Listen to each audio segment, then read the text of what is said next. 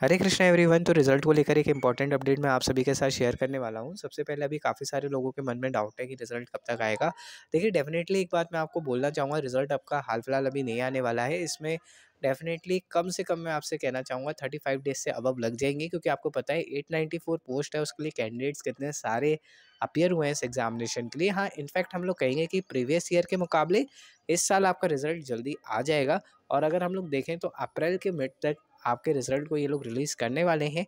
आशा करता हूँ इस वीडियो से क्लैरिटी मिली होगी। चैनल को सब्सक्राइब कर लीजिए, जिससे आगे आने वाले अपडेट्स मिलते रहेंगे।